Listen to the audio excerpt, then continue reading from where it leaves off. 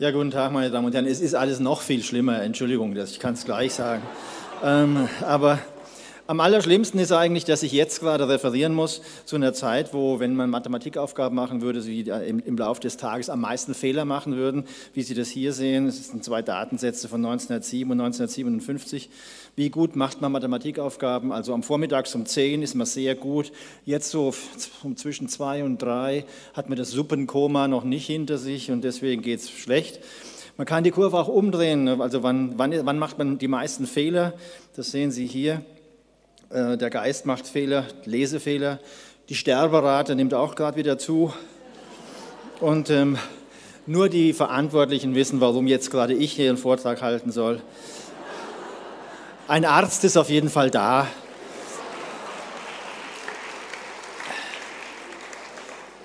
Wann immer ich zwischen zwei und drei einen Vortrag anfangen muss, kommen die Folien. Ähm, ich fange mit einer uralten Folie an. Das ist, kennt ihn jemand? Herr Leibniz, genau. Wofür ist er bekannt? Nein, nicht die Kekse. Er ist äh, äh, einer der Erfinder, der andere heißt Newton, der Integral- und Differentialrechnung. Und der Leibniz war ja extrem schlau, 18.000 Briefe mit ganz Europa korrespondiert. Und ähm, der wusste eigentlich trotzdem über das Gehirn gar nichts. Der wusste gerade mal, es gibt eins, mehr nicht. Er wusste nichts über Nervenzellen, nichts über Synapsen. Aber er hat im Jahr 1700 in einem ähm, monatlichen Auszug aus allerhand neu herausgegebenen nützlichen und artigen Büchern im Januar 1700 hat er Humes Abhandlung über den menschlichen Verstand kritisiert, Buch, Buchbericht, Buchkritik geschrieben. Und da steht unter anderem drin, im Gehirn geschieht viel, von dem wir einerseits nichts bemerken, das andererseits jedoch in Summe einen deutlichen Effekt hat. Schöner kann man sagen, dass es das Unbewusste gibt, kann man es nicht ausdrücken. Und nochmal, das war Leibniz 300, 200 Jahre vor Freud und über 300 Jahre vor heute. Ja. Und dann sagt er noch was, das ist wieder genauso schlau. Ähm, die Summe all dieser Summen nenne ich Person. Das stimmt noch einmal. Ja. Heute wissen wir ganz viel über Neuronen. 100 Millionen haben sie in ihrem Kopf ja, und deren Verbindungen.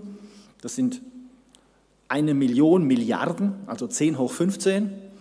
Und wir wissen, und das ist die wichtigste Erkenntnis aus der Gehirnforschung, dass die sich ändern, wenn sie benutzt werden. Also das Hirn ändert sich, also seine materiellen Eigenschaften, ja, da entstehen neue Verbindungen, wenn Sie Ihr Gehirn benutzen. Egal, ob Sie denken, fühlen, wollen, handeln, irgendwas mit planen, irgendwas mit Ihrem Gehirn machen, Emotionen erleben, in Ihrem Gehirn passiert irgendwas und das ändert die Konnektivität, also die Verbindungen zwischen Nervenzellen. Das, die Materie ändert sich. Ja. Und das ist die, die, die, wichtigste Erkenntnis überhaupt aus den letzten 50 Jahren Gehirnforschung. Ich kann mich noch erinnern, ich habe vor hm, gefühlten 100 Jahren, aber es ist jetzt gut 40 Jahre her, Medizinstudium. Wir haben das, also heute lernen die Schüler, wie eine Synapse funktioniert in der Oberstufe in Biologie. Ich habe das im ersten Semester Medizin, wo wir eben auch Biologie hatten, gelernt und ich kann mich noch erinnern, ich habe damals meinen Professor gefragt, sagen Sie mal, so eine Synapse, da passiert ja chemisch einiges und ähm, das dauert ja auch Zeit. Und ähm, wenn der Impuls einfach nur am Aktions, also am Axon lang läuft, da geht es elektrisch, braucht also weniger Energie, weil es wirklich elektrisch geht und nicht chemisch und braucht auch viel weniger Zeit, weil die Chemie braucht ja eben auch Energie und Zeit. Ohne Synapse wäre es also viel geschickter, effizienter als mit. Wozu also Synapsen? Und die Antwort damals, halt deinen Mund. Also schon ein bisschen so, dass ich mich gewundert habe, und, ähm, aber der war ein bisschen ungehalten.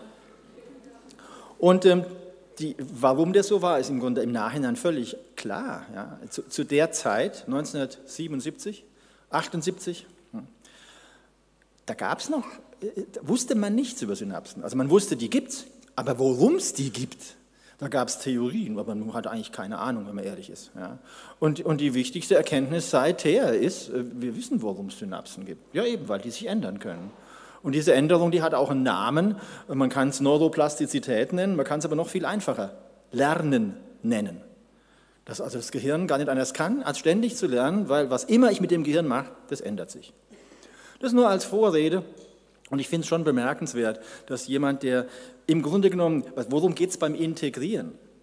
Sie addieren. Und was Sie da addieren, ist immer weniger, bis Sie am Ende unendlich viel, unendlich Kleines addieren. Darum geht es ja beim Integrieren. Ja?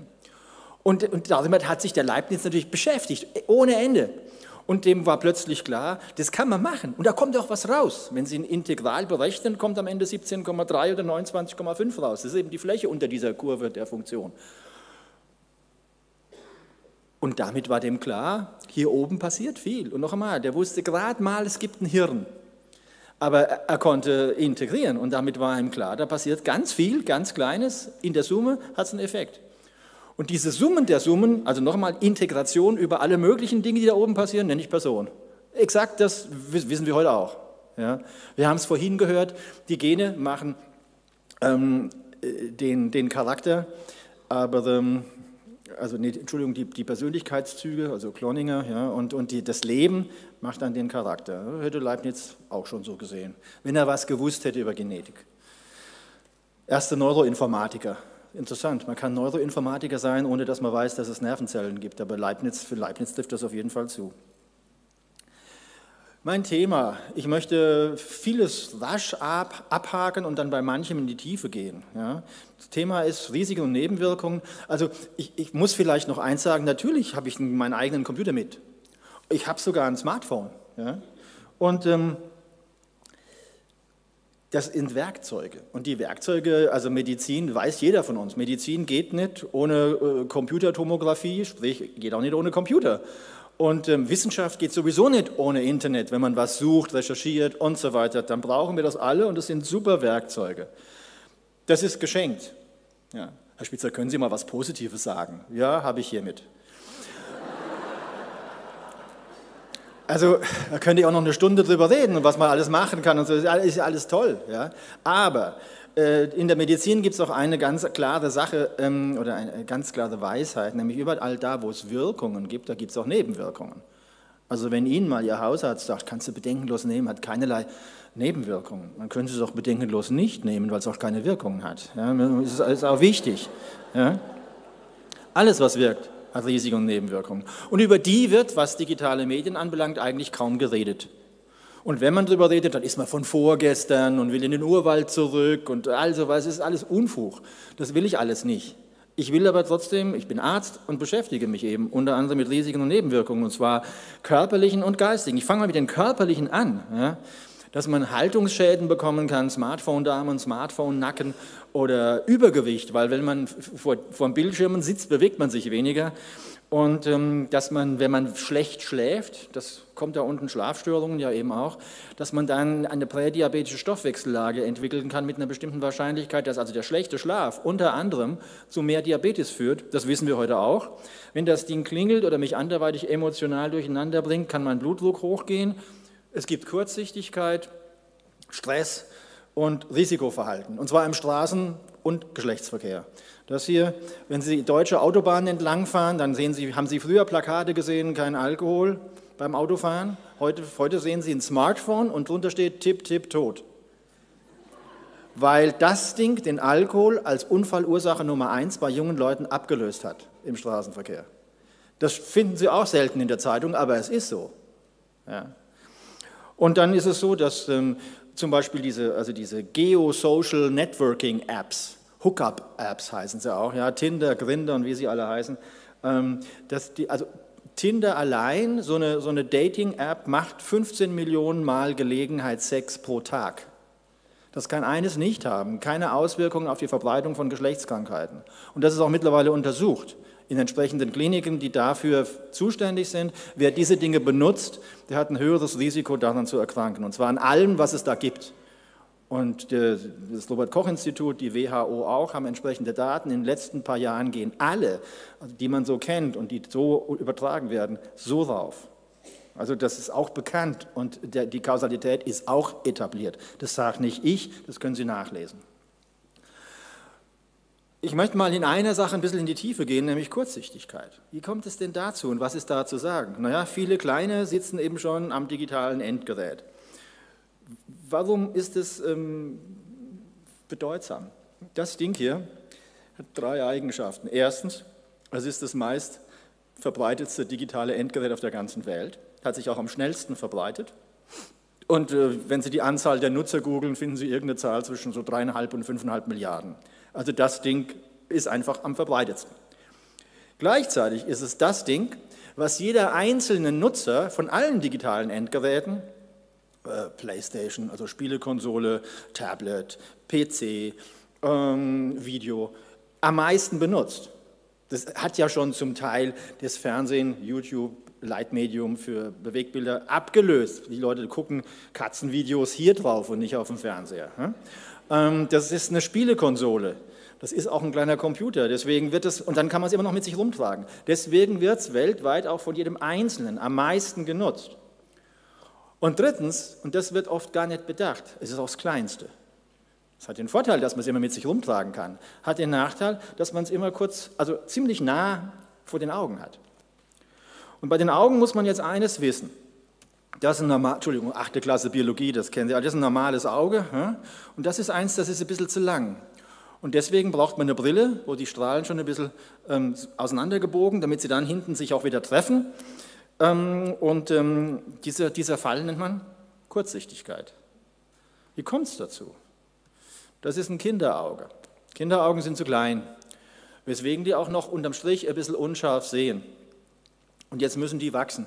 Und früher dachte man halt, naja, die wachsen halt einfach, bis sie scharf sind.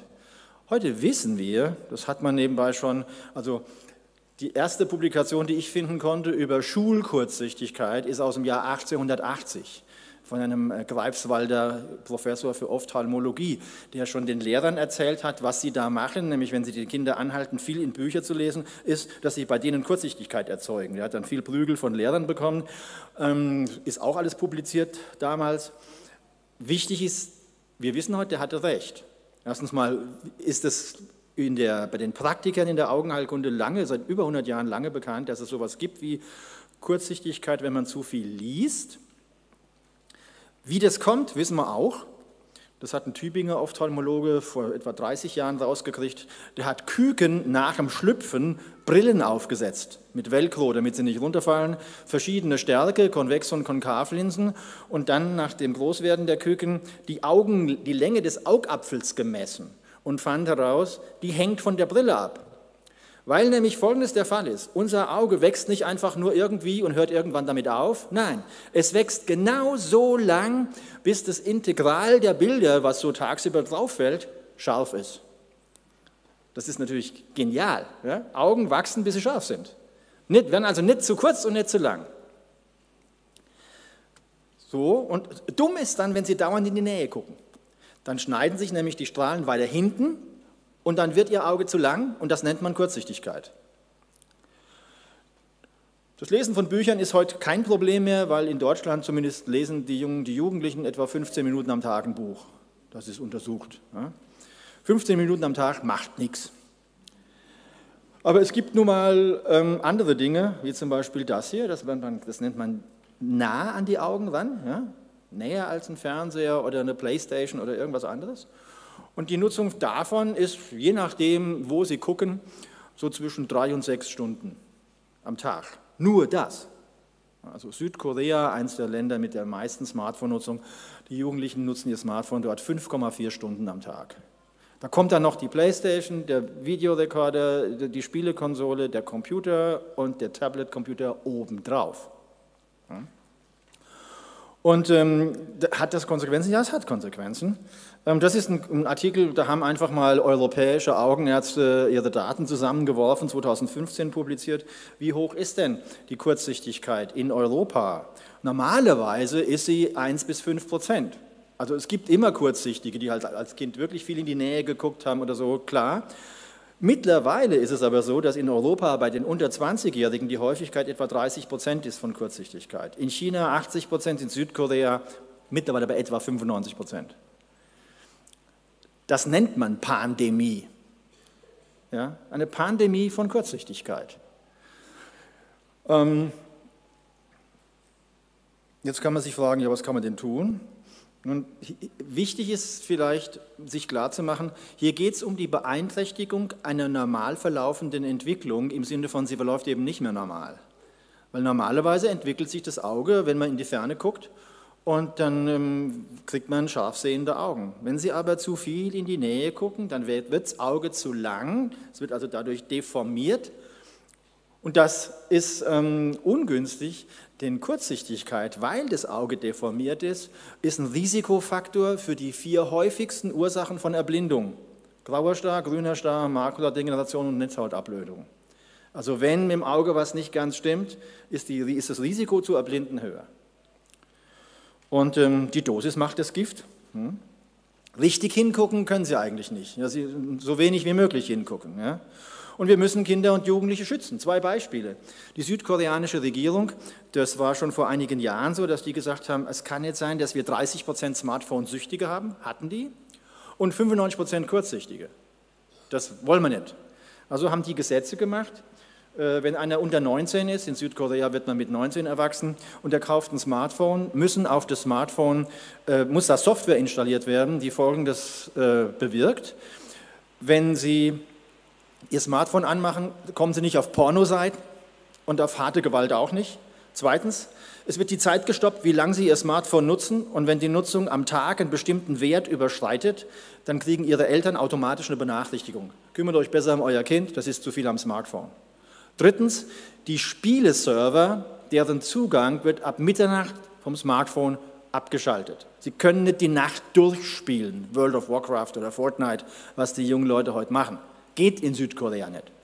Also man versucht, die schlimmsten Auswirkungen zu verhindern. Und nochmal, Samsung ist äh, aus Südkorea und die bauen die meisten Smartphones der Welt. Apple verdient am meisten, Samsung baut die meisten. Und deswegen ist Südkorea, ist, wenn man so will, Samsung Country. Ja? Die bauen die meisten Smartphones. Und was machen sie? Sie schützen ihre nächste Generation vor den schlimmsten Auswirkungen. China hat in diesem Jahr ein Smartphone-Verbot an allen Schulen eingeführt. Und aus der Mitteilung der, der Regierung geht hervor das Folgendes. Die haben sich Folgendes überlegt. 80 Prozent Kurzsichtigkeit in China mal 1,3 Milliarden Chinesen, ist so eine gute Milliarde Chinesen. Und wenn Sie jetzt auch nur 5% der Entwicklung von, Kurz, von Erblindung haben im Alter, also auf längere Sicht hin, nur 5% von einer Milliarde sind 50 Millionen Blinde. Und da hat die Regierung entschieden, das geht nicht. Wir verbieten das Ding an den Schulen und geben die Losung aus, dass Kinder alle anderthalb bis spätestens zwei Stunden 20 Minuten Pause machen müssen. In denen müssen sie rausgehen, denn draußen ist das Licht heller und jeder, der von Ihnen mal früher fotografiert hat mit dem richtigen Fotoapparat, der weiß, dass man die Blende, wenn man die klein macht, dass dann die Bilder schärfer werden. Und wenn Ihr Auge draußen ist, dann geht die Blende zu, das heißt, die Pupille wird kleiner und dann werden die Bilder schärfer. Das heißt, die Chance, dass Ihr Auge kapiert, hey, hier sehe ich scharf, erhöht sich, weswegen es eher aufhört zu wachsen. Gleichzeitig gucken Sie draußen auch noch in die Ferne und damit ähm, vermindern Sie die Wahrscheinlichkeit, dass Sie selbst kurzsichtig werden, auch wenn Sie nachher wieder auf Ihr Smartphone gucken. Und deswegen hat die chinesische Regierung nochmals Smartphones an allen Schulen verboten und die Pausenregelung eingeführt, 20 Minuten rausgehen, um die Kinder vor dieser Entwicklung zu schützen. Bei ihnen besteht kein Handlungsbedarf. Also Augen entwickeln sich so bis Mitte 20. Und wenn Sie über Mitte 20 sind, dann können Sie so lange auf Ihr Smartphone gucken, wie Sie, will, wie Sie wollen. Ihre Augen sind fertig und damit können Sie denen auch nicht mehr schaden. Ja? Aber wichtig, ähm, solange sich irgendwas gesund entwickelt und Sie interferieren mit der Entwicklung, da geht was schief. Und das ist auch unwiederholbar, wenn es schief, wenn Sie kurzsichtig sind, sind Sie kurzsichtig. Punkt aus, da können Sie nichts mehr zurückdrehen. Ja, Sie können lasern und Sie können operieren, alles Mögliche. Aber das Auge ist verbogen und die, äh, das erhöhte Risiko für Erblindung, das haben Sie normal. Nimm mal was anderes, Schlafstörungen. Auch nur ganz kurz, das, ist das ein Problem? Nach einer großen Untersuchung, ist die hier aus Norwegen, an knapp 10.000 jungen Leuten zwischen 14 und 17, ist es ein Problem. Das ist nämlich die, die Nutzung in der Stunde vorm Schlafengehen von digitalen Endgeräten. Nebenbei, das ist eine skandinavische Grafik. Woran sehen Sie das? Die Mädchen sind die blauen Säulen. Die Jungs sind die Grünen. Man kommt da als Deutscher leicht durcheinander, weil bei uns ist alles noch politisch unkorrekt. Die Mädchen sind rosa, die Jungs blau. Und, ähm, und hier sehen Sie die höchste Säule, das sind die Mädchen, die sind am, am, am Telefon. Ja. chatten meistens, also Textnachrichten. Die Jungs, die sind vor allem an der Spielekonsole. Da sehen Sie, die, ist die grüne Säule höher. Das zeigt Ihnen auch, dass die Daten valide sind. Denn bei allen Untersuchungen, die halbwegs ihr Geld wert sind, kommt raus, dass die Mädchen vor allem in sozialen Medien unterwegs sind und die Jungs vor allem ballern. Das kam hier auch raus. Wichtig ist, wenn Sie das zusammenzählen, dann sind die über 100 Prozent abends nochmal irgendwie am digitalen Endgerät. Und ähm, das ist nicht zuletzt deswegen ein Problem, weil das Licht, das von digitalen Endgeräten kommt, das ist die blaue Kurve, die zeigt einfach die Spektralverteilung an, ist äh, im Blaulichtbereich am stärksten. Die schwarze Kurve ist Tageslicht, die rote Kurve ist Glühlampen- oder Kerzenlicht. Und äh, wir sitzen ja schon als Menschheit seit zwei Millionen Jahren am Feuer, weswegen wir gelbes Licht das bringt unser, unser, unseren Schlaf nicht durcheinander. Blaues Licht schon. Vor zwei Jahren gab es dafür einen Nobelpreis. Wir haben im Auge einen Blaulichtrezeptor, mit dem sehen wir nicht. Dessen Output, wenn er Blaulicht meldet, geht direkt zur inneren Uhr. Und da sagt er, hey, es ist Tag. Wenn es abends um elf Tag ist, dann muss es morgens um sieben noch Nacht sein, wenn man die Uhr entsprechend verstellt hat.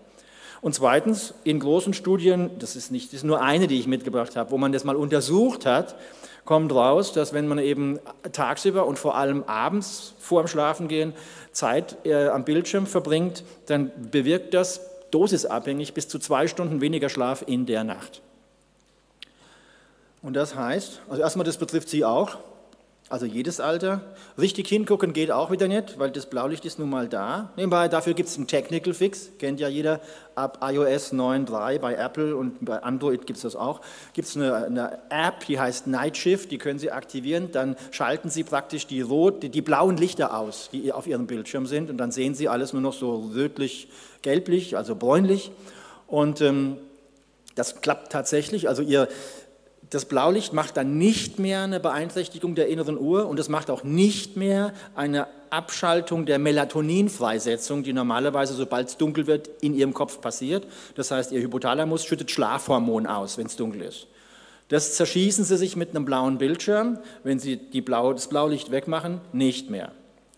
Problem ist, nicht nur das blaue Licht, denn äh, wenn Sie zum Beispiel als Junge ballern und sich gegen gegen Monster wehren oder als Mädchen erfahren, dass ihr Beziehungsstatus sich gerade geändert hat, dann schlafen sie auch schlecht. Und dafür gibt es keinen Technical Fix. Deswegen das, die, die Nutzung der digitalen Endgeräte, gerade wie sie bei Jugendlichen erfolgt, eben auch aufgrund der emotionalen Beanspruchung den Schlaf zum Teil raubt, nicht nur aufgrund des Blaulichts, weswegen die Blaulichtabschalter-Apps nur einen Teileffekt haben. Aber man muss ganz klar sagen, dass es nicht gut ist, abends nochmal auf sein digitales Endgerät zu gucken. Und wieder ist es aber trotzdem bei Kindern besonders wichtig. Warum? Weil die noch in der Schule sind. Und wenn die morgens zwei Stunden so wenig geschlafen haben, dann sind die nun mal müde. Fragen Sie mal Lehrer, was morgens mit unseren Schülern heute los ist. Die sind alle müde, weil sie gerade nachts zu viel ähm, vor dem Smartphone oder vor irgendeinem anderen digitalen Endgerät verbracht haben. Das, das Dumme ist, dann lernen sie weniger. Und das ganz Dumme ist, in der nächsten Nacht schlafen sie wieder zu wenig. Und was machen wir nachts? Wir konsolidieren unser Gedächtnis. Das heißt, wir verfestigen das am Tag neu Gelernte.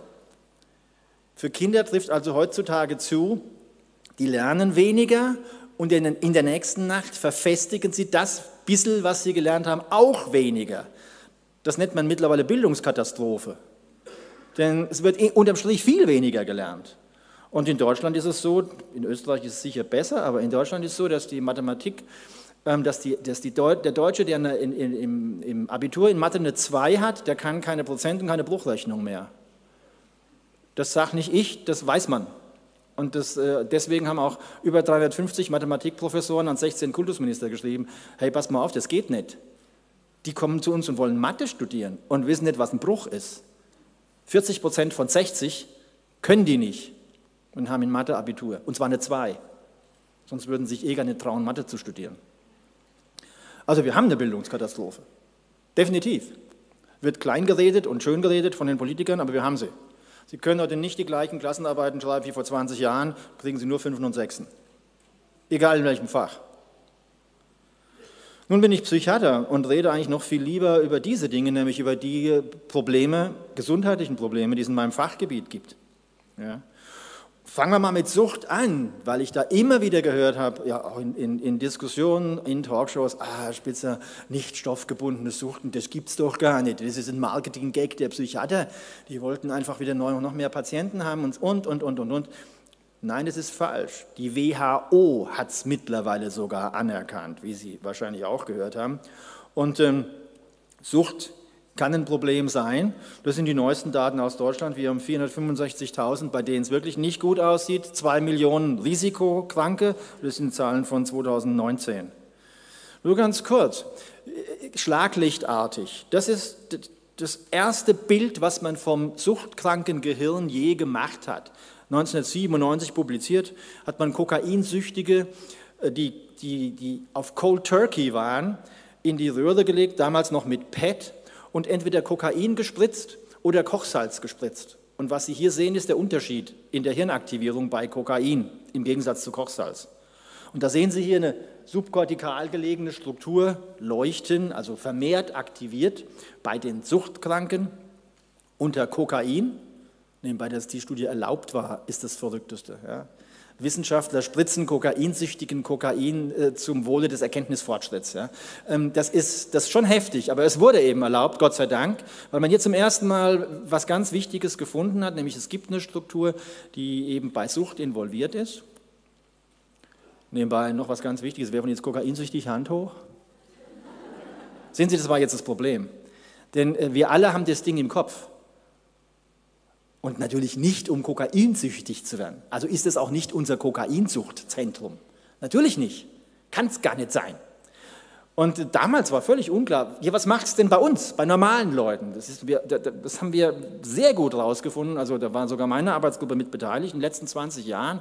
Was macht das Ding denn? Und unterm Strich ganz kurz gesagt, es ist, hat was mit Motivation, mit Freude, mit Neugier und ganz viel mit Lernen zu tun. Und das ist der Zweck von dem Ding. Wenn man, man kann es auch mit Kokain anmachen, dann will man aber sonst nichts mehr, äh, schon gar nichts lernen, ist auch schon gar nicht mehr motiviert für irgendwas anderes und das ist das Problem von Sucht. Darauf will ich gar nicht hinaus, da kann man lange drüber reden, weil es ganz interessant ist, weil wir das wirklich erst die letzten 20 Jahre rausgekriegt haben. Vorher wusste man da gar nichts. Ja. Aber nur ein kleines, eine kleine Sache am Rande. Es gibt eine schöne Studie, 2014 schon publiziert, da hat man Leute gef gefragt, mittels standardisierter Fragebögen, die es längst gibt, ob sie Facebook-süchtig sind. Also wenn ihr nicht ran dürft, werdet ihr zittrig. Und es gibt x, x Fragen, die man stellen kann, um rauszukriegen, ob jemand Facebook-süchtig ist. Und da hat man gefunden, ja, es gibt da Leute, die sind mehr oder weniger Facebook-süchtig. Dann hat man die Leute in die Röhre gelegt und hat ihnen das F von Facebook gezeigt. Kontrollbedingungen, man zeigt ihnen irgendwas anderes. Und dann guckt man, wo leuchtet es? Antwort, da. Und rechts sehen Sie den Zusammenhang zwischen Signal Change in the Stratum, das heißt also, wie, um wie viel reagiert das Ding, was Sie hier bunt sehen. Und hier auf der Achse ist angegeben, wie Facebook-süchtig jemand ist. da sehen Sie, das ist eine hohe Korrelation. Das korreliert tatsächlich. Also Sie sehen hier wirklich Facebook-Sucht abgebildet. Rechts Kokain, links Facebook. Nur für die Skeptiker, die sagen, das hat doch nichts miteinander zu tun. Die Neuroanatomie ist dieselbe. Wir reden vom gleichen, von der gleichen Gehirnstruktur. Wie kann man da noch sagen, Herr Spitzer, das hat nichts miteinander zu tun? Kann man eben nicht. Angst, Depression. Ich rede jetzt nicht über Fear of Missing Out, FOMO oder No More Phone Phobia, dass man es verliert oder dass es mal wegkommt oder die, die, die Verbindung gelöscht wird oder ich rede auch nicht über Mobbing. Ich will Sie nur auf eine Sache aufmerksam machen, die mich selbst sehr betroffen hat. Man wirbt sogar mit Angst. Schauen Sie mal, das ist eine Anzeige, die war äh, auf mehreren Flughäfen, habe ich die gesehen, und zwar in der Business Class, riesengroß und in, im Handelsblatt, da habe ich sie rauskopiert, auch mehrfach. Evolution lässt sich nicht aufhalten. Deswegen mache ich mein Unternehmen fit für das digitale Zeitalter denkt sich ganz offensichtlich ein Mensch im Business-Dress mit so einer lockeren Aktentasche, der vor einem Skelett steht, was so ein bisschen aussieht wie ein irgendwie komischer Dinosaurier. Was wird hier gesagt? Entweder du machst mit oder bist weg vom Fenster. Und äh, dann wird oft noch von disruptiven Prozessen gesprochen. Das Wort disruptiv äh, ist dann auch für Marketingzwecke ganz handlich Weil, hey, wir haben da was Neues, das ist total disruptiv. Heißt, entweder du machst mit oder du wirst zerrissen. Denn Disruption heißt, man wird zerrissen oder zerreißt selber mit. Das ist, wie Sie unschwer erkennen, übelster Sozialdarwinismus der, der, der, der untersten Schublade, schon 100 Jahre alt, fressen oder gefressen werden. Mach mit und friss lieber, sonst geht es dir halt schlecht. Und in dieser, in dieser Gestalt, ganz fein, kommt dieser Sozialdarwinismus daher und macht Unternehmern Angst. Entweder du digitalisierst jetzt oder du bist in zwei Jahren weg vom Fenster. Dasselbe erlebt auf Unternehmertagungen, wo der Angstschweiß zu spüren war. Im gesamten Raum weil die Leute über nichts als das geredet haben. Nun ist Angst kein guter Entscheidungshelfer und auch kein guter Lehrmeister. Und im Grunde genommen ist es ein Armutszeugnis für, eine ganze, für einen ganzen Industriezweig, wenn dem nichts mehr einfällt, außer mit Angst zu werben. Muss man sich mal klar machen. Ja? Mach mit oder bist weg. Es wird nicht gesagt, wir haben da ein neues Werkzeug, wir haben Möglichkeiten, die Arbeit zu erleichtern, wir haben Möglichkeiten, Prozesse zu optimieren. Nein, es heißt einfach nur, mach mit oder bist weg. Übler geht es nicht. Dass sie damit durchgekommen sind, ist ähm, heftig. Weil, wie gesagt, Disruption ist ähm, eigentlich kein Marketingwort, sondern, also äh, Gerhard Hauptmann, die Weber, das können Sie schon 1890 nachlesen. Der hat da schön drüber geschrieben, was passiert, wenn eine neue Technologie eingeführt wird und die Leute verhungern dadurch. Das war disruptiv. Ja. Nebenbei, ich, ich war mir nicht sicher, was ist denn das für ein Skelett? Ein guter Freund von mir, der kennt sich das sehr gut aus, dem habe ich diese Frage gestellt, habe ihm das Bild mitgeschickt und der sagte, Manfred, dieses Bild ist ein, eine Beleidigung für Elefanten. Denn was Sie hier sehen, ist ein ganz normaler afrikanischer Elefant.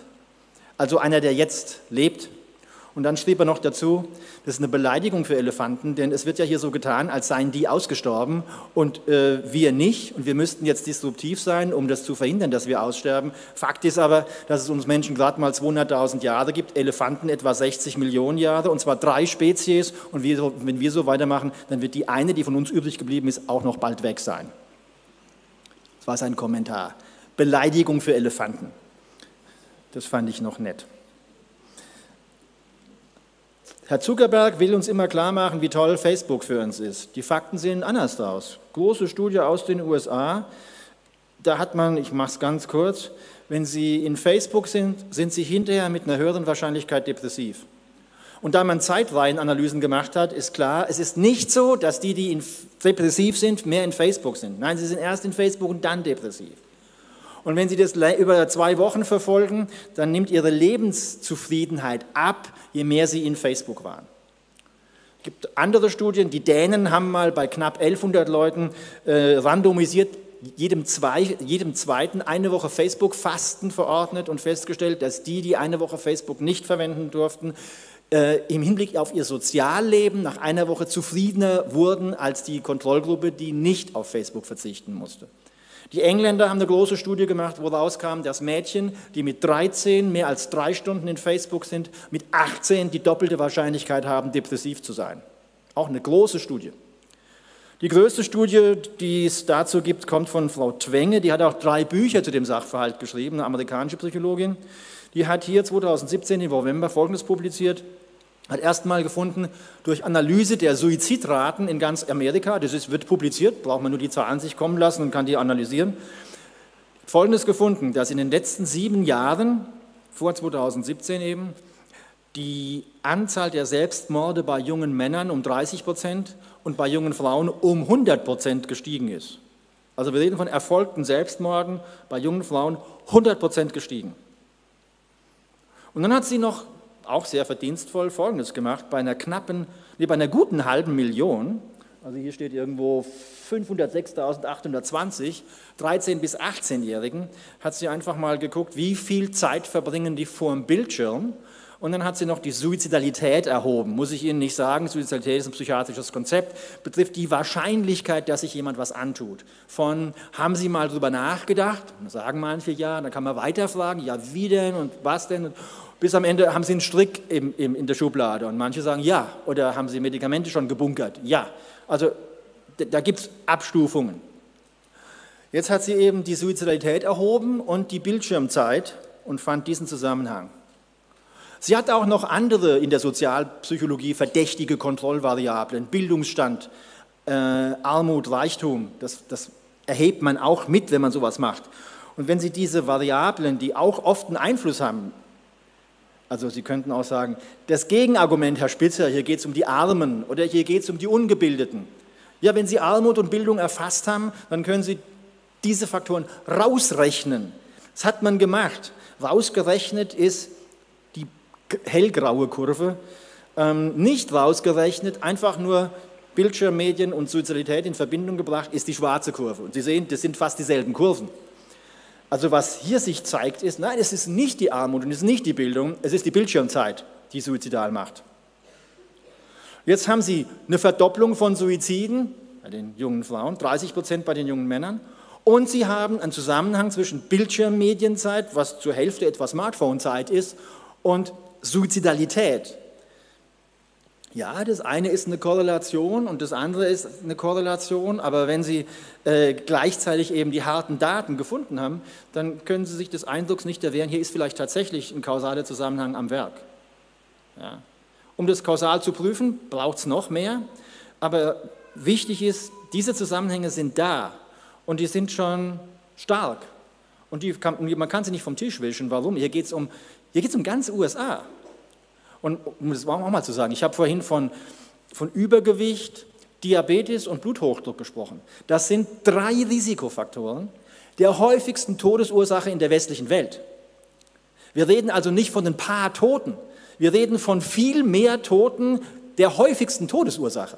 Wir reden von Hunderttausenden von extra Toten in Deutschland allein. Und dann kommt das noch dazu. Und Selbstmord ist nach Unfällen und ähm, je nachdem manchen malignen Erkrankungen, ob die dazuzählen oder, also man, entweder zweite oder dritthäufigste Todesursache bei jungen Leuten.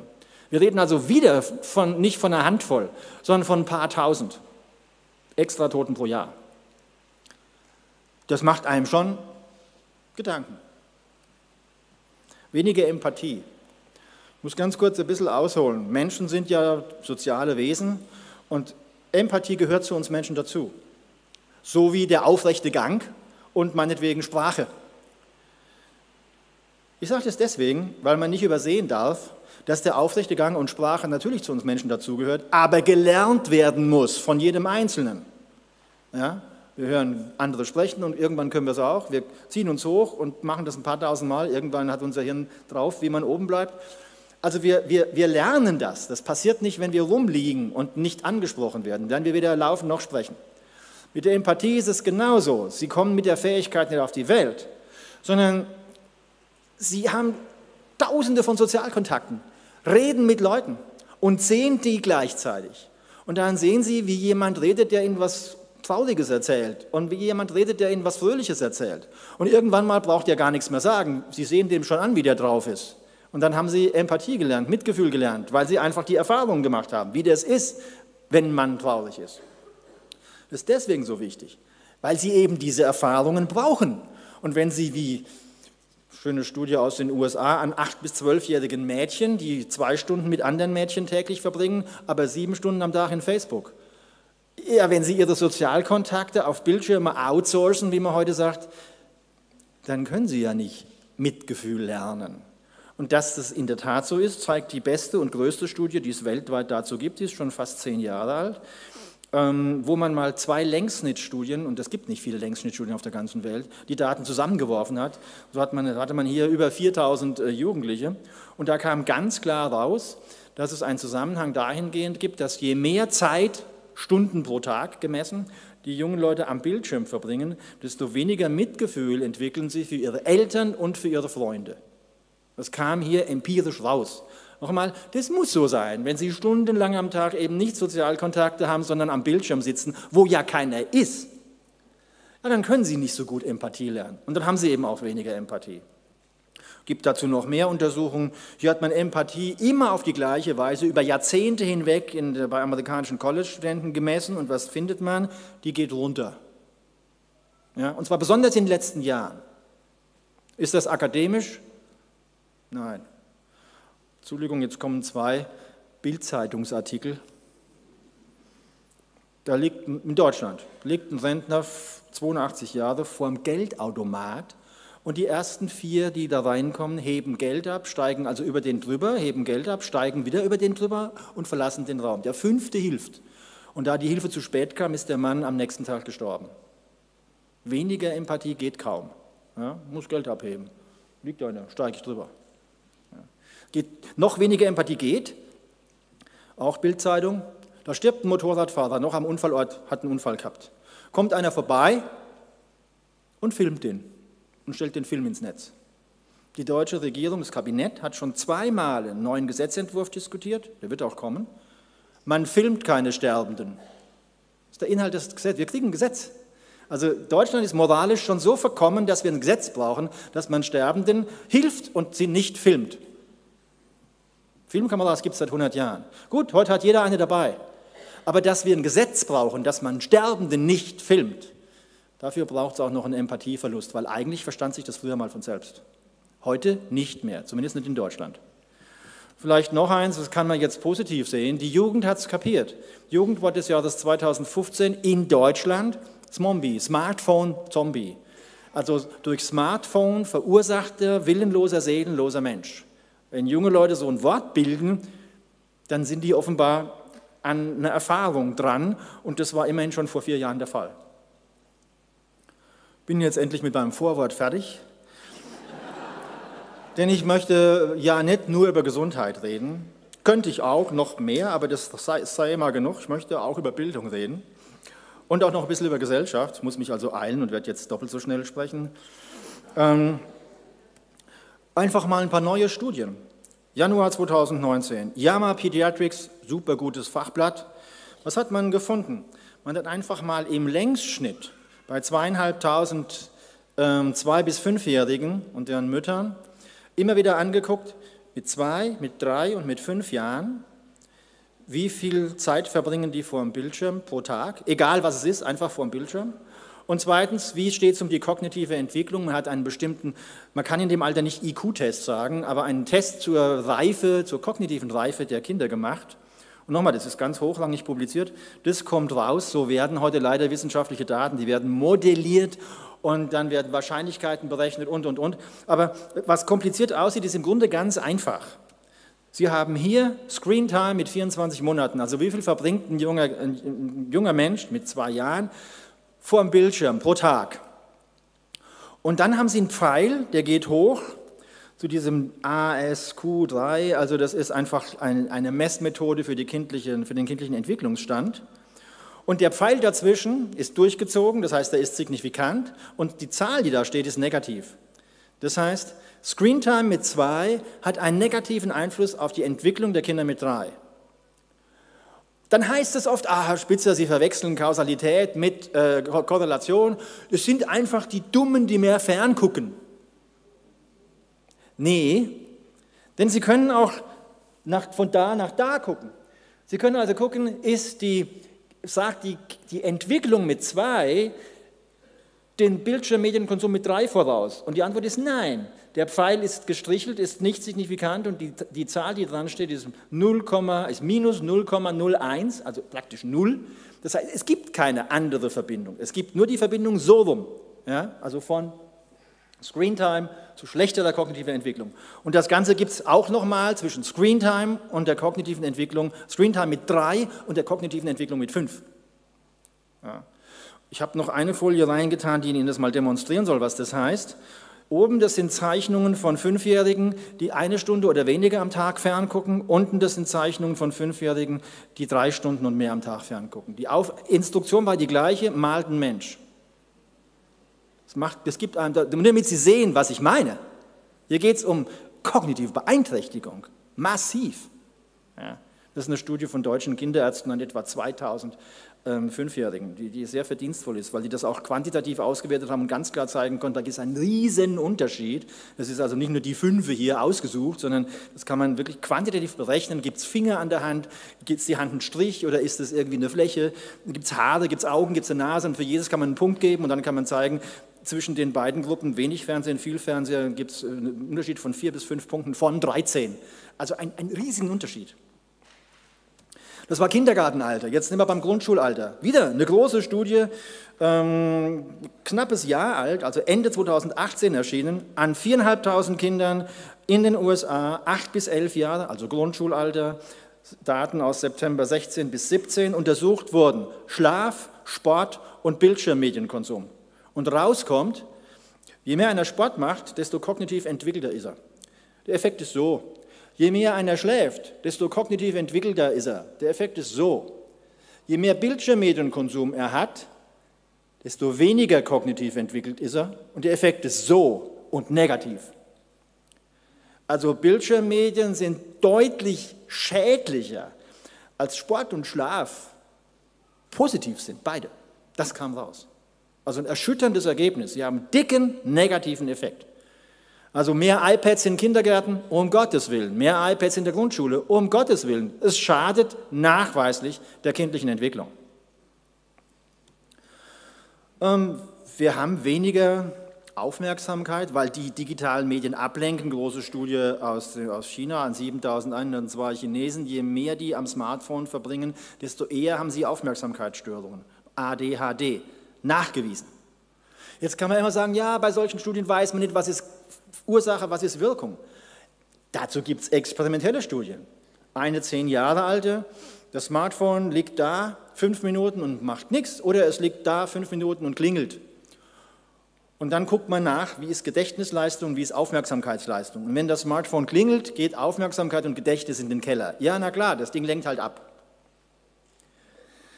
Vor knapp zwei Jahren ist das hier erschienen, nämlich, was passiert, wenn das Smartphone hier liegt und nicht klingelt? Wenn es einfach nur da liegt. Wie, was untersucht man da? Wie macht man die Kontrollbedingungen? Ganz clever. Man vergleicht, wenn das Smartphone hier liegt und dann machen Sie am Computer entweder Aufgaben zum, zu Ihrer Denkleistung, Working Memory Aufgaben waren das, oder Sie machen einen kulturfreien IQ-Test. Ravens Matrices, für die, die sich auskennen. Also wir können IQ-Tests am Computer machen, kulturfreie sogar, die relativ gut sind und, und für sich für alle Leute eignen.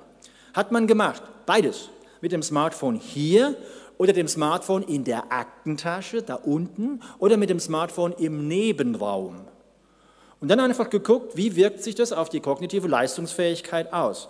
Links haben Sie das Arbeitsgedächtnis, also Denkleistung, rechts haben Sie IQ. Und was kommt raus? Wenn das Smartphone im anderen Zimmer ist, haben Sie einen deutlich höheren IQ, als wenn Ihr Smartphone auf Ihrem Schreibtisch liegt. Der Effekt, wenn man ihn umrechnet, ist etwa so groß wie zwischen Abiturienten und Realschülern. Also ich sage immer Arbeitgebern, wenn sie Abiturienten einstellen und sie dann ihr Smartphone auf ihrem Schreibtisch liegen haben, dann haben sie bloß noch Realschüler eingestellt. Sollten Sie wissen. Das ist das, was die Wissenschaft dazu festgestellt hat. Und ich habe mich selbst geärgert, dass ich die Studie nicht gemacht habe, aber ich wäre nie auf die Idee gekommen, weil ich nicht dachte, dass der Effekt so groß ist. Dass wenn das Smartphone nur hier liegt, dann zieht es kontinuierliche kognitive Ressourcen ab, weil Sie könnten ja drauf gucken. Das heißt, Sie müssen dauernd ein kleines bisschen, meine Oma hätte gesagt, Hirnschmalz drauf, drauf verwenden, nicht drauf zu gucken. Und der fehlt Ihnen halt bei der Arbeit. Und wie viel das ist, das sehen Sie hier. Das ist eben nicht wenig. Das ist einfach, das ist ein deutlicher Effekt, ein deutlich messbarer Effekt. Ihre kognitive Leistungsfähigkeit geht runter, wenn Ihr Smartphone auf dem Tisch liegt. Ich soll es wahrscheinlich wegtun. Aber mir macht der Effekt nicht so viel aus. Ich bin ja alt und kenne mich mit sowas aus. Ne? Wenn Sie weniger aufmerksam lernen Sie weniger. Ja? Und das ist auch ganz wichtig, weil viele Leute finden, die kleinen Babys, die sollten doch am Bildschirm sein, wenn sie noch nicht laufen oder sprechen können. Fakt ist, dass wenn Sie über eine eigenschaftslose Oberfläche mit Ihrer Hand immer mit der gleichen Handbewegung wischen, ohne egal was auf dem Bild, auf dem Bild ist, auf dem Bildschirm abgebildet ist, ah, dann schaden Sie der kognitiven Entwicklung, der sensorischen und der motorischen Entwicklung und damit der kognitiven Entwicklung ähm, Ihres Kindes. Ja? Wenn ich einem vierjährigen Kind sage, schnapp dir mal die Nadel, den Stift, den Schlüssel, das Ei, den Eimer, da halte ich fest, macht spontan das. Diese Griffe haben, Griffweisen haben Namen in der Medizin. Schlüsselgriff, äh, Spitzgriff äh, und so weiter. Und ähm, warum? Weil die bestimmte Nerven und bestimmte Muskeln betreffen. Wenn sie kaputt sind, kann man sie einzeln reparieren und, und, und, und, und. Mein Punkt ist, das müssen sie schon hundertmal gemacht haben oder tausendmal gemacht haben. Und dann können sie es halt. Wenn sie so aufwachsen, können sie es natürlich nicht. Wie sollen sie das lernen? Oder so? Also diese Bilder zeigen, also gerade das Bild ist so, finde ich, symptomatisch, weil hier klar wird, wie das verkauft wird. Hey Mama, hey Papa, euer Kind, ein Jahr oder so, verbringt doch gerade viel Zeit auf dem Topf so zum Üben. Wäre es nicht toll, die Zeit wäre nicht verschwendet, sondern wäre noch zum, zu, zu Bildungszwecken zu gebrauchen. Deswegen haben wir die Lösung für euer Problem, von dem ihr noch gar nicht wusstet, dass ihr es habt. Ähm, und die Lösung heißt ein Babyklo mit iPad-Halter. Die Apps gibt es kostenlos. Das Ding kostet 36 Euro. Und ähm, ja, und die, die, Apps und die kann man auch runterladen. Und dann wird das Kind endlich die Zeit nicht so verschwenden auf der Toilette, sondern wird in dieser Zeit noch gebildet. Völlig unsinnig das Argument, weil in dem Alter, wo man das macht, kann man nicht vom Bildschirm lernen. Da gibt es x Untersuchungen, weder sprechen lernen noch irgendwas anderes, indem man über eine eigenschaftslose Oberfläche drüber wischt. Kann man nicht. Also daran sieht man, wie, wie unsinnig hier versucht wird, die frühe Kindheit, wie sagt man heute, zu monetarisieren. Ja? Und ähm, bei uns hat sich das nicht verbreitet. In den USA hat jeder sowas oder sowas. Kein Witz. Äh, Fisher Price Activity Center. Die Apps gibt es auch kostenlos. Ja, dort auch ein Smartphone, ein, ein, Tablet rein in das Ding. Und die Leute glauben, die Kinder würden schlau. Ja, glauben sie wirklich. Nebenbei, es gibt sowas mittlerweile auch für Erwachsene. Also ist unglaublich. Gehen Sie mal zu Amazon. Voll, 50 Angebote gleich weg. Ja. Ähm, in dem Alter beobachten wir ja oft ähm, die Mütter, die ihr, ihr auf ihr Smartphone gucken, statt auf ihr Kind. Das hat jeder schon und dem wurde es immer so ein bisschen kribbelig dabei.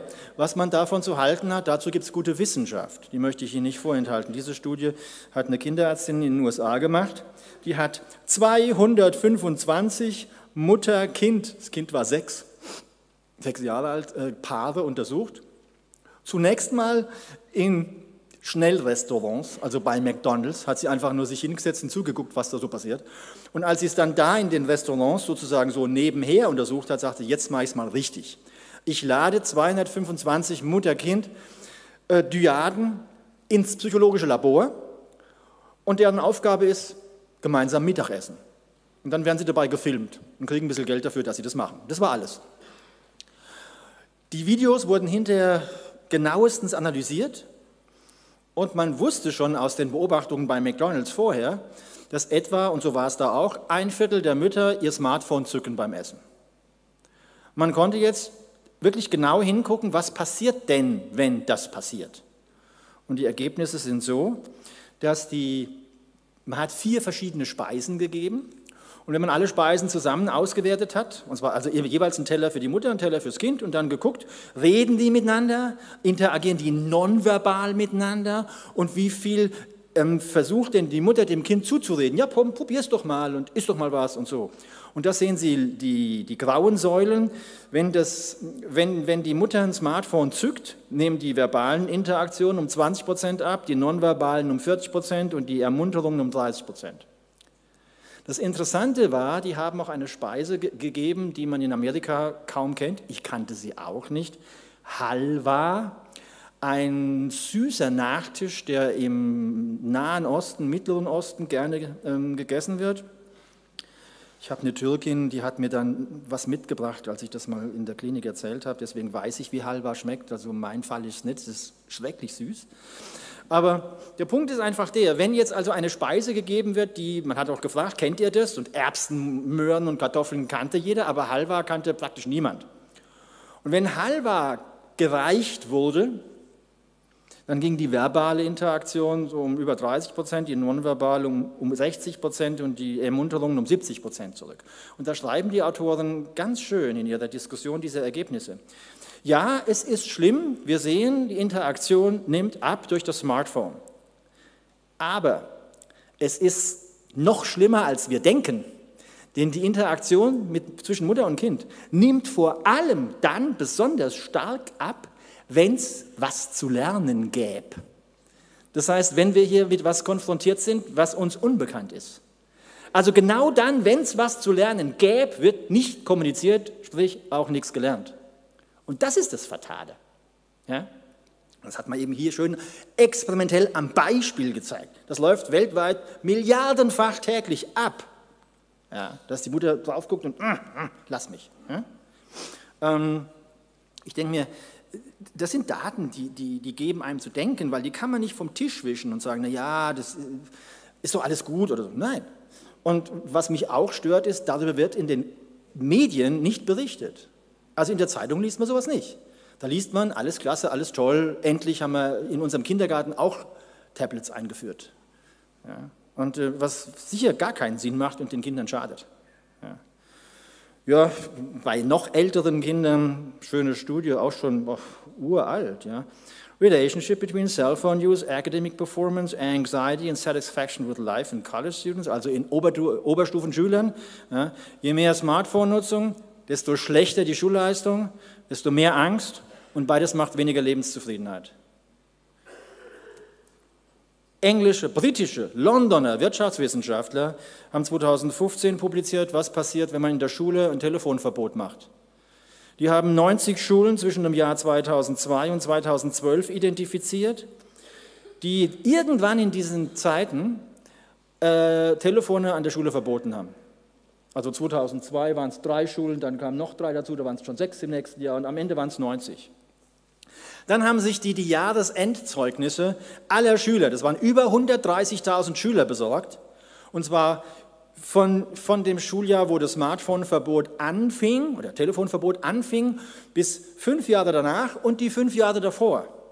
Und dann haben sie die Schulen so übereinander geschoben, dass am Tag Null für alle Schulen das Smartphone- oder Telefonverbot anfing, um rauszukriegen, was passiert, wenn eine Schule das, Telefon, das Mobiltelefon an der Schule verbietet. Wie ändern sich die Schulnoten? Und hier sehen Sie jetzt den Durchschnitt von 130.000 Jahresendzeugnissen. Ähm, der, Nullpunkt ist, da hat das Smartphone-Verbot angefangen. Ein Jahr später überlappt sich der Fehlerbalken nicht mit der Nulllinie. Das heißt, Sie haben ein signifikantes Ergebnis. Und dann geht es immer weiter hoch. Mit anderen Worten, von dem Tag an, wo, wo Sie Ihr Mobiltelefon nicht mehr dabei haben, wurden die Schüler besser. Es gibt eine andere Studie, die ist schon ein bisschen älter. Da hat man äh, College-Studenten, als es noch kaum Smartphones gab, das war 2010, gefragt, habt ihr ein iPhone? Und wer gesagt hat, nee, ich habe keins, dem hat man eins geschenkt. Und dann hat man gefragt, was glaubt ihr wohl, was passiert? Und alle sagten, ja, jetzt kann ich besser suchen, besser Hausaufgaben machen, ich werde besser. Ein Jahr später hat man sie nochmal gefragt. Sie wurden schlechter.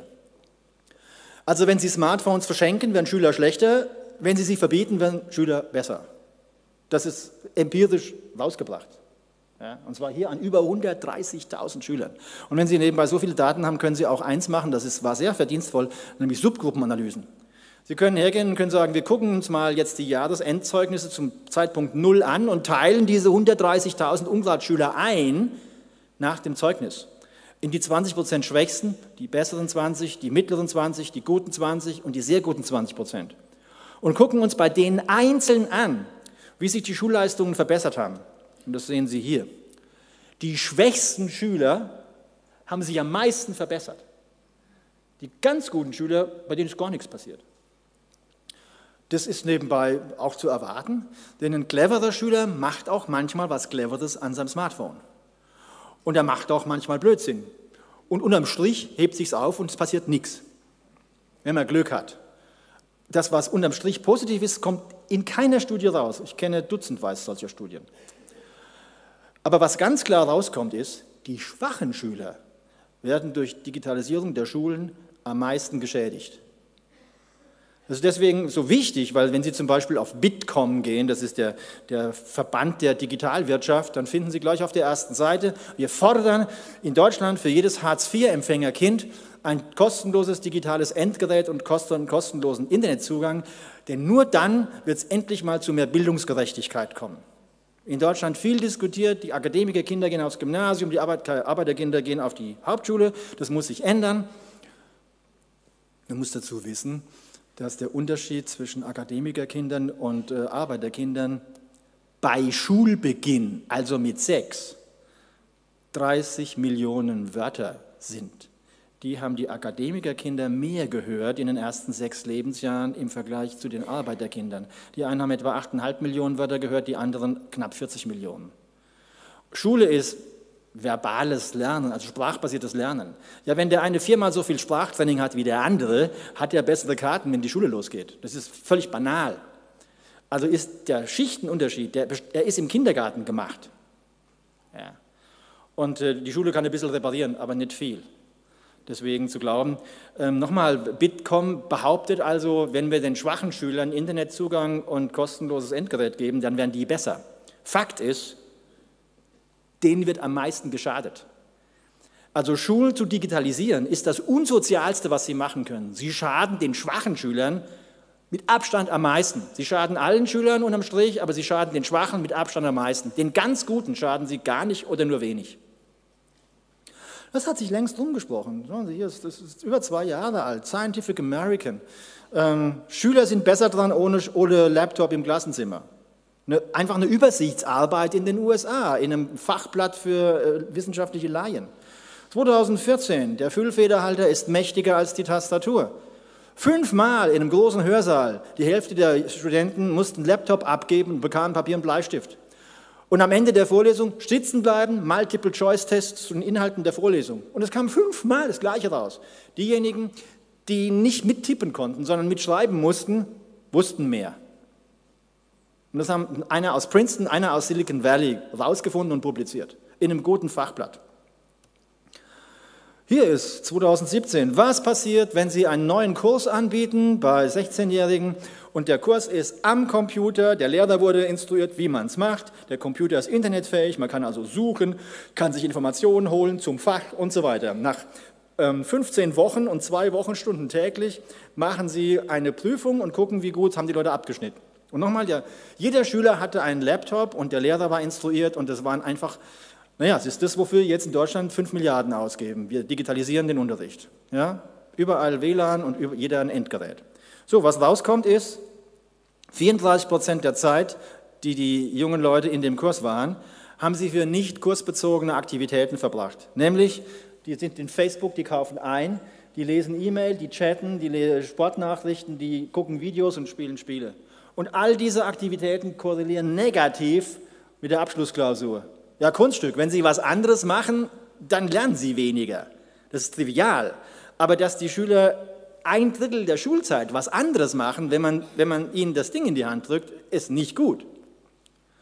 Es gab ein zweites Ergebnis. Man hat natürlich auch geguckt, wie viel Zeit verbringen die am Computer für den Unterricht, also curricularbezogene Zeit. Hat man die mit der Endnote in der Klausur korreliert. Die Korrelation war null. Also wer mehr am Computer lernt, lernt deswegen nicht mehr.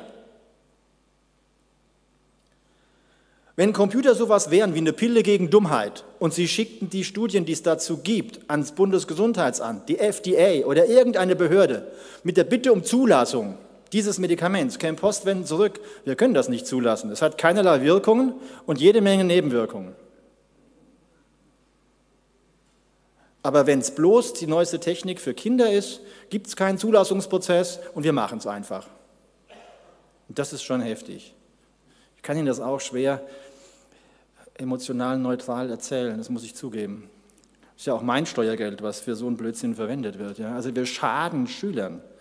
Und ähm, ja, das ist eine Studie, die, also noch zwei, dann höre ich damit auf. Das Militärakademie West Point die haben sich überlegt, wollen wir digitalisieren? Und dann haben sie gesagt, probieren wir es doch aus. Und die Autoren schreiben selber, wir haben hier lauter junge, hochmotivierte Leute, motivierter als an allen anderen Bildungseinrichtungen. Hier sind Leute, die wollen was, die, sind, die wollen was reißen. Und dann hat man gesagt, okay, wir nehmen also mal unsere 50 Klassen und die Klassen kriegen entweder ein Laptop und ein Tablet, nur ein Tablet oder nichts. Und zwar per Zufall. Das waren also Klassen mit jeweils 15, also super Lehrer-Schüler-Verhältnis. Ja. Und ähm, was rauskommt, war ganz eindeutig. Die ohne digitale Medien waren 20 Prozent besser als die beiden Klassen, entweder mit Laptop und Tablet oder nur mit Tablet. 20 Prozent besser. Und die Autoren schreiben, dieser Effekt muss an allen anderen Bildungseinrichtungen größer sein als bei uns. Denn bei uns sind alle hoch motiviert und werden trotzdem durch digitale Medien in ihrem Lernen massiv behindert. Das schreiben die. Und wenn Sie es immer noch nicht glauben, die größte Untersuchung äh, stammt tatsächlich äh, von der OECD und den PISA-Daten. Herr Schleicher selber hat die publiziert. Wir wissen, PISA Ähm, da geht es um, um, um 15-Jährige, die alle paar Jahre mal im Hinblick auf Mathe, Naturwissenschaften und sprachliche Fähigkeiten untersucht werden, und zwar von 32 OECD-Ländern, jeweils ein paar Zehntausend pro Land. Und in dem Falle waren es, der hat noch andere Länder dazugenommen, kam immer mehr dazu, es sind hier über 50 Länder erfasst. Was er gemacht hat, ist, er hat einfach mal Folgendes nachgeguckt. Wie haben sich die PISA-Resultate über zehn Jahre, also der jeweils 15-Jährigen, verändert? Wurden die, wurden die Schüler in dem Land besser oder schlechter? Und zweitens, wie viel hat das Land pro, pro Kopf Schüler in die Digitalisierung seiner Schulen investiert? Also Sie kriegen dann eine Grafik. Die Null ist hier in der Mitte nach dem Motto, auf Null wären Schüler, die wären gleich geblieben. Wenn sie nach oben gegangen sind, sind sie besser geworden über zehn Jahre. Wenn sie nach unten gegangen sind, sind sie schlechter geworden über zehn Jahre. Und hier sind weniger Computer, mehr Computer. Also hier hat man aufgetragen, wie viel wurde in Computer an Schulen investiert. Und wenn Computer an Schulen positive Effekte hätten, würden Sie irgendwie sowas erwarten. Das müsste rauskommen. Ja? Das kommt raus. Also was rauskommt ist, je mehr Sie für Computer an Schulen und Internetanschluss an Schulen Geld ausgeben, desto schlechter werden die Schüler. Und nochmal, das sind Daten von Millionen von Schülern über zehn Jahre. Ja. Australien zum Beispiel, ganz da unten. Ja. Wir haben im Jahr 2008 2,4 Milliarden australische Dollar für Digitalisierung von Schulen ausgegeben, also Internetanschlüsse und, und äh, digitale Endgeräte. Und dann sind sie richtig abgeschmiert in PISA-Vergleichsdaten. Neuseeland auch. Finnland war immer PISA-Sieger. Dann haben sie digitalisiert und jetzt sind sie richtig, richtig runter. Ja. In Deutschland liest man alle Wochen, wir müssen aufholen, wir müssen aufholen, wir sind hinten dran im OECD-Vergleich, was die Digitalisierung der Schulen anbelangt. Ja, wir sind aber in den letzten zehn Jahren zehn Prozent besser geworden. Ich kann mal sagen, Gott sei Dank haben wir eben noch nicht digitalisiert. Jetzt machen wir es nicht. Jetzt geben wir endlich fünf Milliarden aus, damit wir mal ganz gründlich digitalisieren. Mit dem Ergebnis im Hintergrund. Ja, wie kann man das machen? Ganz fies ist, wie das die OECD publiziert. Schauen Sie mal, Students, Computers and Learning, die Studie heißt, und dann klein drunter, Making the Connection. Wenn Sie also nur die Überschrift lesen, ah ja, Computer und Lernen, Making the Connection. Die Connection ist negativ, hey, steht da nicht. Das ist etwa so, wie wenn Sie den Zusammenhang zwischen Rauchen und Lungenkrebs untersuchen und dann publizieren, Rauchen und Gesundheit über einen neuen Zusammenhang. Dass der negativ ist, schreiben Sie nicht, ja? Da sehen Sie, wie fies das publiziert wird. Es wird noch publiziert, so dass man meint, hey, da ist doch was Tolles. Und wissen Sie, dieses Bild ist auf Seite 156 oder sowas, da kämpft sich keiner durch, durch Pädagogendeutsch. Das schaffen Sie gar nicht bis dahin. Ja? Da, da legen Sie es weg und sagen, naja, wird schon wieder eine schöne Studie zu Computer sein, dass die helfen. Eben nicht. Weniger Wissen, das wissen wir. Science Magazine, also nicht irgendwer. Und nicht irgendwo. Das waren Wissenschaftler von Columbia und Harvard. Die haben was ganz Simples gemacht. Die haben Leuten Informationen dargeboten, per Buch, per Zeitung, per Zeitschrift oder per Google. Und ein paar Tage später geguckt, was blieb hängen. Und was kommt raus? Wenn Sie es googeln, bleibt es am wenigsten hängen. Also wenn es was gibt, was man zum Lernen nicht verwenden sollte, ist es Google. Was sagen alle Bildungspolitiker? Ah ja, wir müssen mehr googeln an Schulen, damit der endlich mehr gelernt wird. Hey, in Science Magazine konnten Sie vor acht Jahren nachlesen, dass das nicht so ist. Sie konnten auch nachlesen, dass elektronische Lehrbücher nicht so gut funktionieren wie solche aus Papier. Und zwar vor allem dann, wenn sie so richtig gut gemacht sind. Wenn Sie also sagen, hey, wir machen doch, wir scannen die nicht einfach nur ein, die alten Lehrbücher. Nein, wo ein, wo ein Bild ist, machen wir ein Video hin. Und wo Literaturverzeichnisse sind, da machen wir Hyperlinks sind, klickt man drauf, schon ist man da. Wenn Sie das machen, und das kommt hier raus, nimmt die Lernleistung der Schüler ab, nicht zu. Und der Grund ist ganz simpel. Sie kennen alle den alten Spruch, lesen, bilden, heute muss man ergänzen, daddeln nicht. Weil wenn die das Ding dazu verführt, dass sie rumklicken, denken sie weniger nach. Und alles, was sie vom Nachdenken ablenkt oder sie daran hindert, ist nicht gut für Lernen. Weil gelernt wird, wenn sie ihr Hirn benutzen. Und je mehr sie es benutzen, desto mehr ändert sich. Das ist nochmal die Quintessenz der Neurowissenschaft zum Lernen. Weswegen alles, was ihnen geistige Arbeit abnimmt, hey, deswegen haben wir die Erwachsenen diese Werkzeuge, weil die uns geistige Arbeit abnehmen. Und genau deswegen sind diese Dinger zum Lernen nicht gut. Ja. Wenn ich mir viel Mühe gebe und viel nachdenke und dann das Ding mir hilft, dass ich auch noch den letzten Fitzel Informationen finde, Kein Problem, werde ich auch nicht dement dadurch. Ja? Herr Spitzer, kriege ich digitale Demenz, wenn ich zu viel am Computer arbeite? Antwort, nein, kriegen Sie nicht, gar Angst, weil Sie arbeiten ja dran.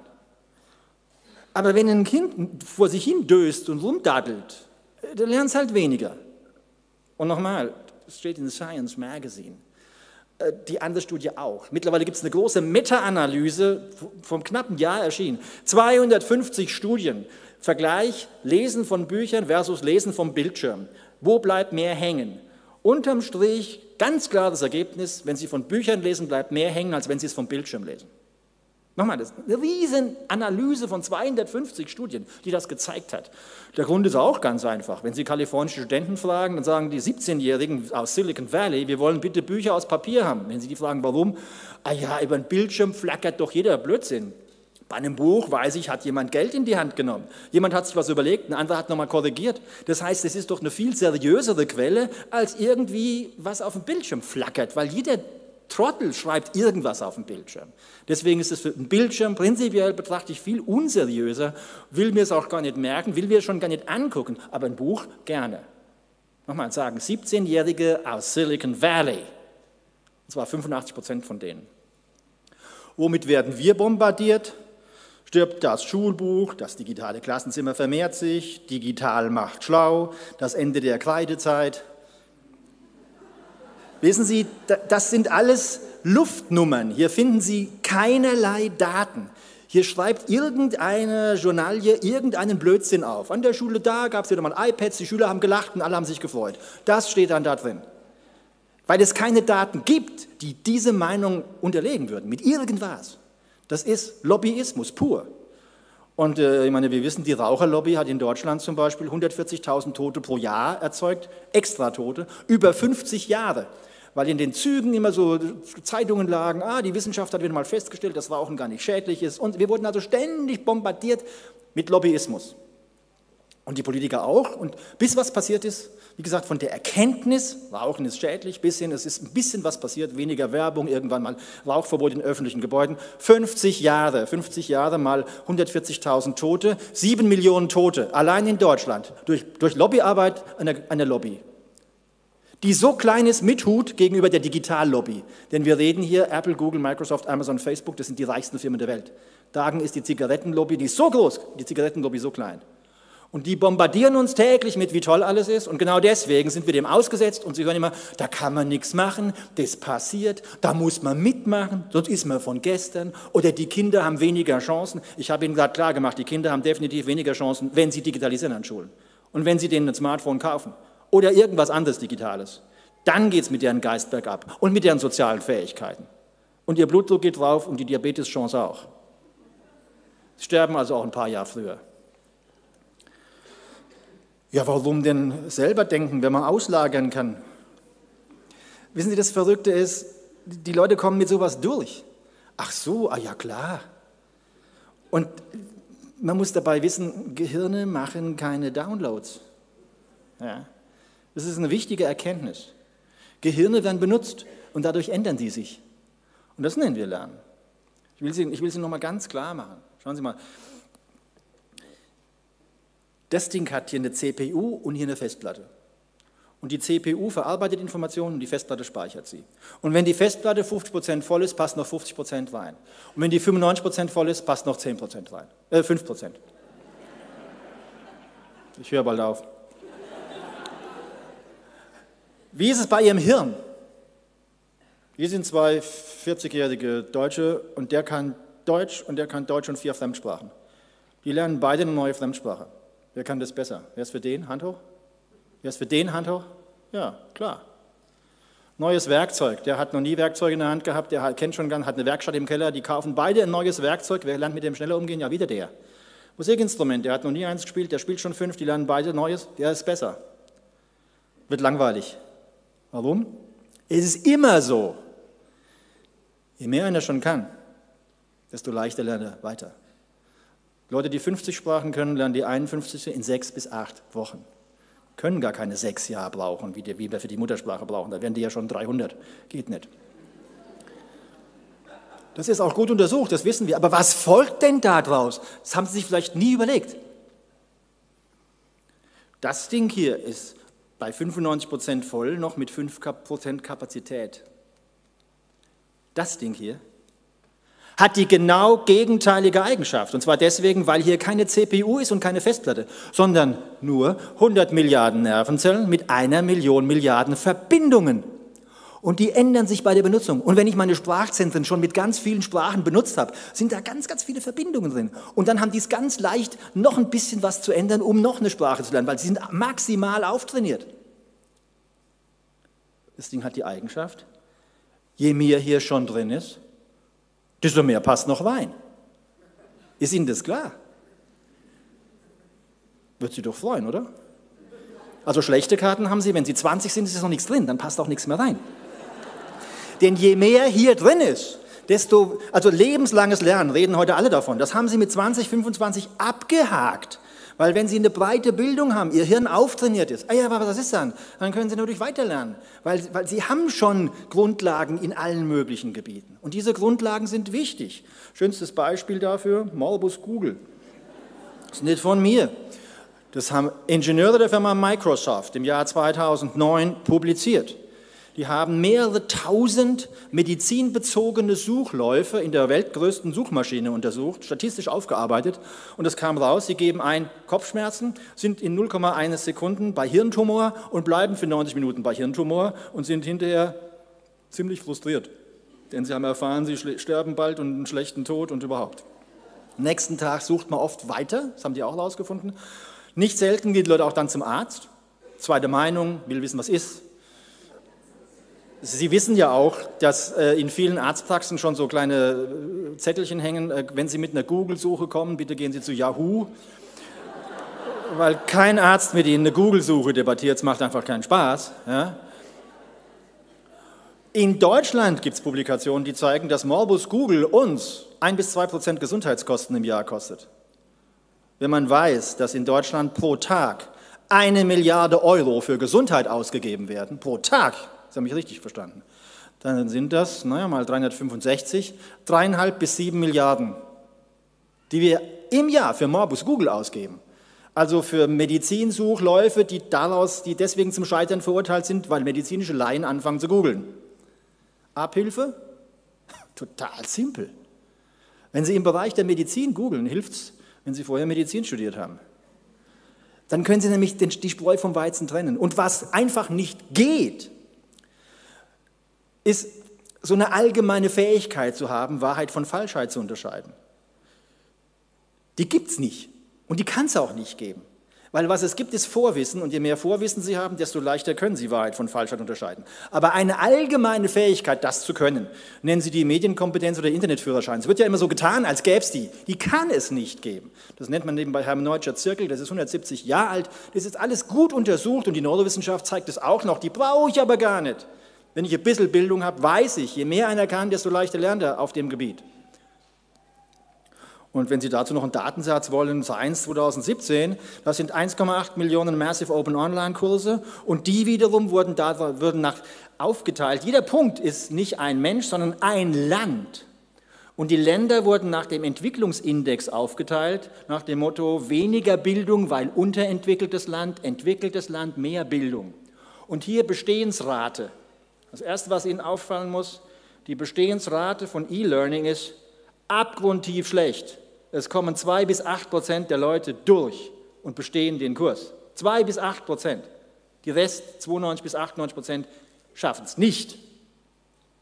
Schauen Sie, wenn ich als Chirurg eine neue Operationsmethode entwickle und es sterben 92 bis 98 Prozent, werde ich nicht berühmt oder ganz negativ berühmt. Und die pädagogische Community sagt heute noch, hey, E-Learning ist toll, das machen wir jetzt mehr. Mit einer Durchkommensrate von zwei bis acht Prozent, im guten Fall acht Prozent. Es ist unterirdisch schlecht, was da rumkommt. Aber was eben auch rumkommt, ist, je weniger Sie vorher wissen, desto schlechter haben Sie, haben Sie Chancen, da durchzukommen. Wenn Sie also aus einem gebildeten Land sind, haben Sie immerhin 8% Chance. Schüler sind definitionsgemäß ungebildet, weswegen für die E-Learning einfach nicht in Frage kommt. So ab 35 mit einem klaren Ziel und einer klaren, klaren begrenzten Aufgabe, um jetzt mal die Außendienstmitarbeiter bei einem Modellwechsel zu informieren. Das geht auch per E-Learning. Alle hochmotiviert, alle wissen schon viel. Schülern was Neues beibringen, selbst organisiert. Sie hatten sie heute Vormittag. Völliger Unsinn. Digitale Demenz, nur ganz kurz, bin ja gleich fertig. Ähm, das hier ist was ganz Banales, nämlich Ihr Gehirn wird besser im Laufe Ihres Lebens, weil Sie was lernen. Und es ist eben nicht, wie der Computer hier, dessen gelbe Kennlinie wäre völlig horizontal, weil das Ding heute genauso gut ist wie vor zehn Jahren, als ich es gekauft habe. Ist tatsächlich schon zehn Jahre alt. Ja. Aber mein Hirn ist heute besser als bei meiner Geburt. Warum? Habe viel dazugelernt. Laufen, sprechen, alles Mögliche. Und das soll die gelbe Kurve andeuten. So, und jetzt wissen wir eins. Irgendwann mal gibt es viele Krankheiten. Eine davon heißt schlichtweg nur Altern. Es gibt aber auch welche, die haben andere Namen, die zum Beispiel Morbus Alzheimer, Multi-Infarktgeschehen und so weiter. Und die machen Nervenzellen kaputt in großem Stil, weswegen die Hirnleistung abnimmt. Dazu muss man wissen, erstens, die Korrelation zwischen kaputtem Hirn und Hirnleistung ist gering. 0,2 etwa. Mehr nicht. Zweitens, und das muss ich eigentlich einem Bergvolk, wie es die Österreicher sind, wirklich nicht erklären, für jeden Abstieg gilt, je höher Sie anfangen, desto länger dauert es, bis Sie unten sind. Wenn Sie also Ihr Hirn in Kindheit und Jugend richtig hoch gebildet haben und Sie kriegen eine Demenz, also Alzheimer, dann nimmt die Hirnleistung ab? Ja, schon. Aber wenn Sie von ganz oben kommen, kriegen Sie Ihre Demenz so mit 150. Und da sind Sie halt schon vorher gestorben. Das heißt, Sie kriegen sie nicht. Ja, Sie lachen. Was ist denn in allen Lehrbüchern der Neurologie steht das drin? Der beste Schutzfaktor vor der Entwicklung einer Demenz im Alter. Brokkoli essen? Nein. Heidelbeeren essen? Auch nicht.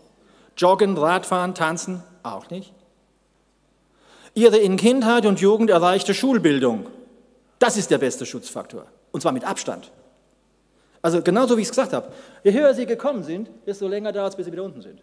Es ist ganz simpel und ganz einfach. Und um noch mal was zu sagen, wir, wir kennen Fälle mit 101 gestorben, keine Demenz gehabt, im Test mit 0,5 Jahren, also kurz vorher getestet. Wirklich null Demenz in den Tests, die wir in der Klinik auch machen. Nach dem Tod Hirn aufgearbeitet, Hirn voller Alzheimer. Publiziert, das gibt's. Sie können Hirn haben voller Alzheimer und keine Demenz. Umgekehrt, der Morbus Alzheimer, der fängt irgendwann an. Seit den beiden Weltkriegen wissen wir, dass sie 20 sein können und schon jede Menge Alzheimer im Kopf haben können. Weil nach den Weltkriegen gibt es immer viele tote junge Männer und da hat man mindestens ein paar eben mal in die Pathologie getan, Hirn angeguckt und mit Schrecken gefunden, hey, der hatte ja schon Alzheimer, hat aber keine Demenz. Gibt's alles. Der jüngste Patient, nach dessen Tod in dessen Kopf, Gehirn Alzheimer gefunden wurde, war wie alt? Sechs. Ja, Sie haben richtig gehört. Sie können sechs Jahre alt sein und schon Alzheimer haben. Alzheimer ist keine Erkrankung des Alters, eine Erkrankung, die irgendwann im, Jahr, im Lauf Ihres Lebens anfängt und dann mehr oder weniger stark verläuft. Also wenn Sie da so kriegen, haben Sie gute Karten, Sie können früh stark anfangen, schlechte Karten. Also Sie können Professor sein und mit 80 an Alzheimer-Demenz sterben. Ja, die Fälle gibt es. Walter Jens in Tübingen, großer bekannter Professor, mit 80 an Alzheimer gestorben. Gibt's. Aber bei den meisten geht es halt irgendwann im Leben los und geht so langsam los. Und wenn sie dann gebildet sind, haben sie gute Karten, dass sie es gar nicht merken und die anderen auch nicht und dass sie mit 101 ein Hirn voller Alzheimer haben und sterben und keine Demenz hatten. Jetzt habe ich nur eine, eine Minute für die Gesellschaft. Ähm, das lasse ich einfach sein, ich sage es Ihnen nur. Twitter, das Geschäftsmodell von Twitter sorgt dafür, dass sich die Falschheit schneller um den Globus ausbreitet als die Wahrheit. Das liegt einfach am Geschäftsmodell. Es ist ein Turbo für Gerüchte. YouTube, das ist die verrückteste Story, die kennen Sie vielleicht noch nicht, ähm, hat das Fernsehen als Leitmedium für Bewegtbilder abgelöst. Und die Welt schaut eine Milliarde Stunden am Tag YouTube. Im Unterschied zum Fernsehen wird 80 Prozent dessen, was auf YouTube geguckt wird, vom YouTube Recommendation Algorithm vorgeschlagen. Die meisten Leute gucken also und die Videos sind meist nicht so lang und dann kommt das nächste Video. YouTube gehört Google, Google lebt von Werbeeinnahmen. Und deswegen wollen die, dass sie so lange wie möglich vom Bildschirm kleben bleiben, denn jede Minute am Bildschirm klingelt bei Google die Kasse. Wie kriegen sie es hin, dass die Leute vor dem Bildschirm bleiben? Das haben die Google-Leute lange erforscht, die YouTube-Leute, dann die Google-Leute und das ist mittlerweile klar und die machen das auch so. Sie zeigen als nächstes Video eins, was ein Tick radikaler ist als das, was Sie vorher gesehen haben. Also wenn Sie vegetarisches Essen googeln, sind Sie fünf Videos weiter, die automatisch vorgeschlagen werden, bei veganen Essen. Wenn Sie bei Joggen anfangen zu googeln, sind Sie zehn Videos weiter bei Ultramarathon. Wenn Sie bei Bill Clinton anfangen, sind Sie bei Karl Marx und wenn Sie bei George W. Bush antworten, sind Sie beim Ku Klux Klan. Also es, es wird immer radikaler. Das ist so. Also ähm, die Geschichte erschien in der New York Times vor etwa einem Jahr. Was folgt? Dass die Weltbevölkerung 800 Millionen Stunden Video täglich guckt, die definitionsgemäß radikaler sind, als die Weltbevölkerung radikal ist. Nochmal, das ist Teil des Geschäftsmodells von YouTube und damit von Google. 800 Millionen Stunden Radikalisierung über die Hirne der Weltbevölkerung pro Tag kann eines nicht haben, keine Auswirkungen. Ja? Neuroplastizität, Synapsen ändern sich wenn, und so weiter und so weiter. Was heißt denn das? Ja, wir radikalisieren gerade den Globus als Geschäftsmodell der drittreichsten Firma der Welt. Das gibt einem zu denken. Gibt noch mehr, was einem zu denken gibt. Ich hoffe, Sie nehmen mir ab, es gibt hier Probleme, und zwar im Bereich Gesundheit, im Bereich Bildung und auch im Bereich der Gesellschaft. Cambridge Analytica-Skandal, das Ganze ist demokratiefeindlich erster Güte. Ja. Und das wollen wir nicht. Und wir wollen, dass die Digitalisierung uns gut tut und nicht fünf Milliardäre noch reicher macht. Das kann sich jeder selbst überlegen, dass das keine gute Idee ist. Und es kann nicht sein, dass wir die nächste Generation, das ist das Wichtigste, was wir haben, dem Profit streben, nochmal, der reichsten Firmen der Welt, die noch mehr Profit machen wollen, einfach so kampflos überlassen und unsere Politiker da noch mitmachen. Das ist völlig unverantwortlich. Tun Sie mir einen Gefallen, sagen Sie es weiter, dann ändert sich vielleicht was. Vielen Dank.